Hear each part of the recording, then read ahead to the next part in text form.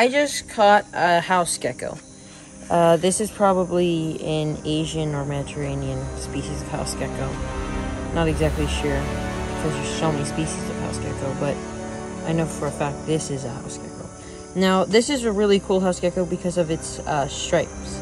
Most of them have um, a lot of different patterns. Some of them have no pattern.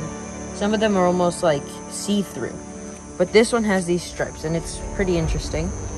So it looks almost like a mourning gecko.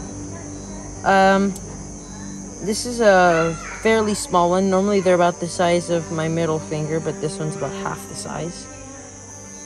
Uh, we already did a video on the Mediterranean house gecko of Arizona, but uh, this is another invasive species, like th that one. That's why I was saying it.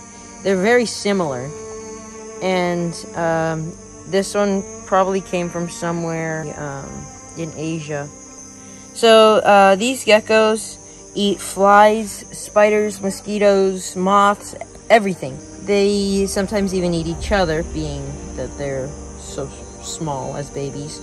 Um, and they're really cool in the fact that they can stick to windows, walls, anything. Uh, this is thanks to their pads, which have microscopic hairs that basically go into any crack there may be. People who keep these as pets kind of know that if they lose them, they're not finding them again. Because how fast they are. These are nocturnal species. You'll see them all the time at night. They just can be a little hard to catch. Like, um, you have to wait for them to kind of trap themselves. Um, these geckos are kind of feared around here, even though they're like extremely harmless. And that's why they're, they're so readily lose their tails, is because they're really fragile.